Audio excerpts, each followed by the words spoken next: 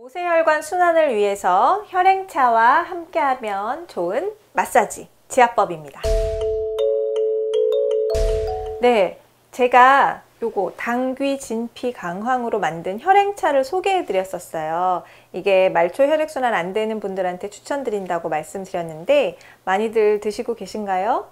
네, 요것도 혈행차도 있고 제가 또 혈액순환을 위해 만든 이런 엑기스도 있다고 말씀드렸는데 이렇게 먹는 방법들이 있습니다. 그런데 중요한 것은 우리가 먹는 데서만 끝내는 것보다 지압을 함께 해주면 훨씬 좋습니다. 또 운동과 반신욕도 같이 하시는 게 더 좋겠죠. 네, 왜냐하면 혈액량을 늘렸으면 그거를 이제 잘 돌려주는 것도 우리 역할인데요. 물리적으로 움직여주는 게 가장 중요하지만 우리가 오랫동안 앉아서 공부를 해야 되거나 직장 생활을 하셔야 되는 분들은 지압을 잘 해주시는 것도 굉장히 큰 도움이 됩니다. 자, 제가 세 가지 부위로 나누어서 지압법을 알려드릴게요. 첫 번째, 얼굴, 눈이 유독 붓거나 어지럼증이 있는 분들을 위한 지압입니다. 자, 먼저 승장혈을 지압합니다. 승장혈은 아랫입술 아래에 중심에 쏙 들어가 있는 부분입니다. 이곳을 검지를 이용해서 꾹 눌러주세요. 한 20초 정도 꾹 눌러주세요.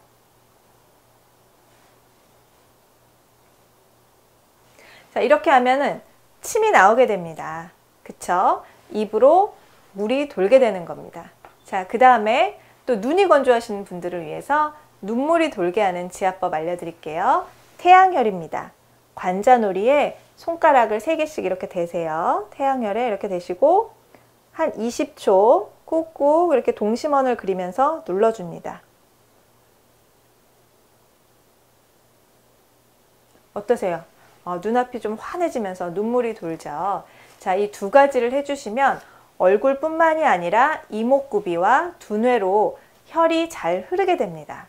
마무리가 중요해요. 마무리는 바로 귀예요. 자, 손가락을 이렇게 하셔가지고 귀를 이렇게 해서 위아래로 이렇게 잘 마사지를 해주세요.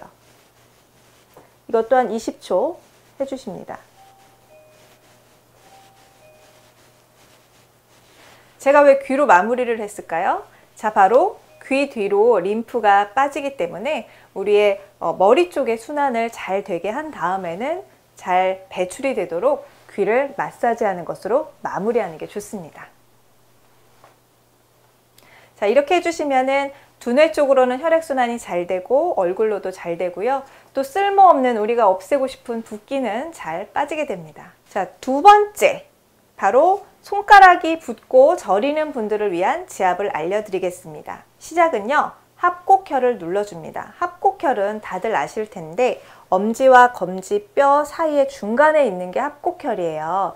그런데 보통은 방향을 잘못 누르시거든요. 어떻게 하는 게 올바른 방법이냐면 악수를 하듯이 반대편 손을 가지고 들어와서 이렇게 새끼손가락 방향을 으로 수직으로 눌러주셔야지 제대로 누르는 거예요. 합곡혈을 한 20초 정도 이렇게 꾹 눌러줍니다. 네.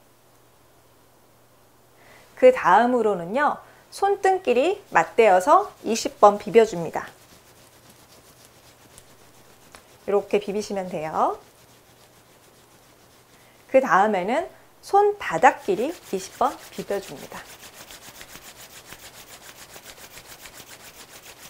네, 저는 이렇게만 해도 벌써 여기 인중에 땀이 이렇게 나면서 상체로 순환이 확 되는 게 느껴지거든요.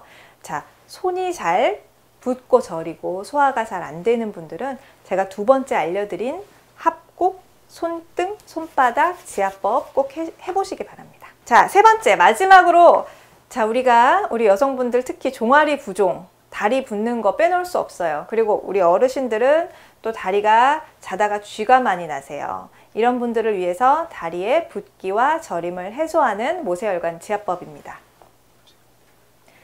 자, 종아리의 시작이 되는 족삼리와 음릉천을 같이 지압을 해주십니다.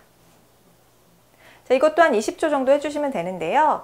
딱 보면은 대칭된 부위잖아요. 한의원에서 이곳을 관통하는 침을 쓰기도 할 정도로 아주 중요한 지점입니다.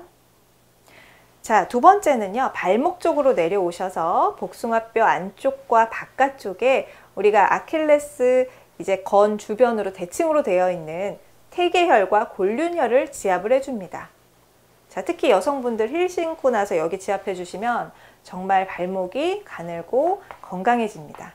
자, 이 부분도 역시 대칭을 이루는 곳이라 엄지검지로 같이 이렇게 어, 비벼주시면 한 20초 정도 비벼주시면 좋습니다. 자, 이렇게 다리 지압은 어, 족삼리 음릉천과 태계 골륜혈로 어, 해주시면 간단하게 끝이 납니다. 네, 이렇게 몸에 제가 한 세 부위로 이제 얼굴 부위, 얼굴과 머리 부위, 그 다음에 팔과 상체 부위, 그리고 다리 하체 부위 이렇게 상중하로 나눠서 지압법을 알려드린 거예요. 각 부위가 붓고 좀 불편하신 분들은 각 부위만 해주셔도 좋고요. 뭐 전신에 내가 순환을 하고 싶다 하면은 상중하 다 해주셔도 좋습니다. 자, 먹는 것만으로 끝내는 게 아니라 혈행차를 하루 세 잔 열심히 드시면서 이렇게 운동, 반신욕, 지압법까지 하신다면은 정말 모세혈관 나이가 내 신체 나이보다 훨씬 더 젊어지실 수가 있을 겁니다. 자, 하루 세번 모세혈관 예뻐지기, 건강해지기 잊지 마세요.